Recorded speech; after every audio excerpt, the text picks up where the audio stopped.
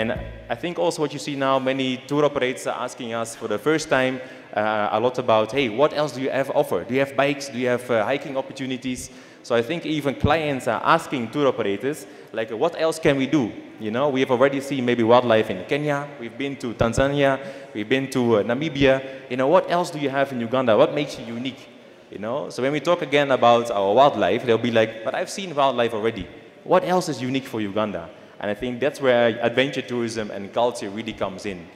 Uh, and I really see when we started Karatunga, people, uh, of course, came for a new destination. Nobody had been to uh, before.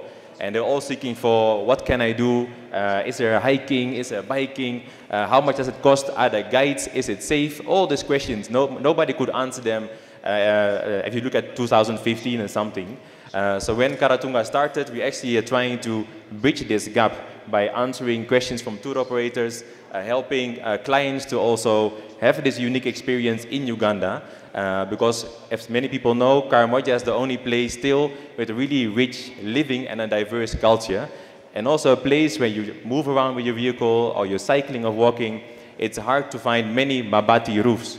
You know, I think in many other places, you know, uh, our, you know, our population is growing really, really fast.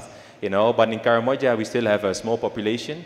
In, uh, we are 1.4 million people in uh, uh, an area the size of Belgium.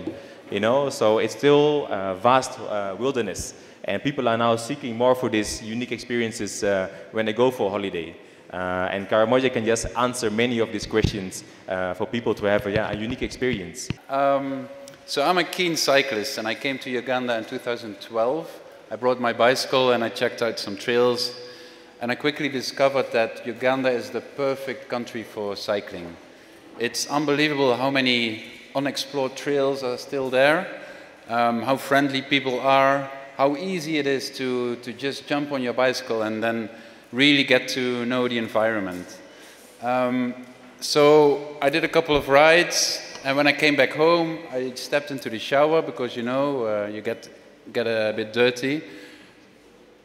And then I washed myself and I looked down and I saw all this red dirt coming off me. So that's why I called my company Red Dirt Uganda. Um, at the moment, we're trying to promote cycling in as many uh, locations and with as many organizations uh, that we know. And one of them is Ugandan Wildlife Authority. some guys here from UWA, and you see that nice picture on the banner that was made in Queen Elizabeth National Park. I'm still here. I haven't been eaten by lions. Um, and that ranger took uh, very special care of me.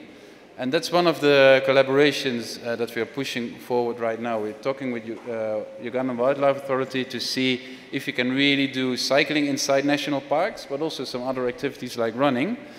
And it's possible as long as we have the rangers who have their very skilled profession to keep you safe and know exactly what to do.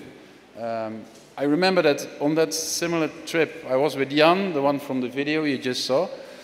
We were cycling through the park and we were uh, turning uh, around a curve and we saw this big elephant just in front of us. And he was already flapping his ears, which means that he's a bit annoyed. Now, I was very scared and I wanted to run away and hide in the bush. But then the ranger came there and he just solved the issue. He, he shooed the elephant away and everything was okay again. So I wouldn't advise going in the national park by yourself, but if UWA and the rangers are there, it's perfectly safe and I wouldn't, um, I wouldn't feel any, uh, any worried at all.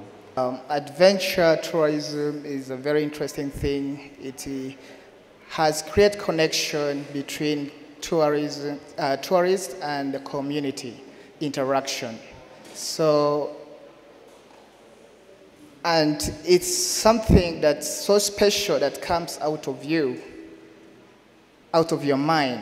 It should be adventure in the mind and adventure in the heart because of what you encounter in the field. It's not as easy, but it's so rewarding at some point. Health-wise, you stay fit, at all times. I think on a level um, of Uganda, I think many, many adventure activities have been offered. Um, in the past years, but maybe they haven't been labeled as that, or we haven't grouped them together under this label of adventure tourism. I mean, we've had rafting, we had cycling tours maybe on a lower scale, we had nature walks, of course, but we never really used it um, for our marketing in the way we are using it now, also under the new brand. So, of course, we hope with this new development in Uganda, um, yeah, we will make adventure tourism bigger here um, and develop products which are, which are feeding into this. And then lastly, not to take too much time from the perspective of Matoke Tours, um, having seen all those trends and developments emerge, like as a tour operator, of course we are, um, yeah, we have to see how we can implement this and incorporate it in whatever we do. Um, so our number one priority now has been to actually not develop new products, but see which products have been already developed.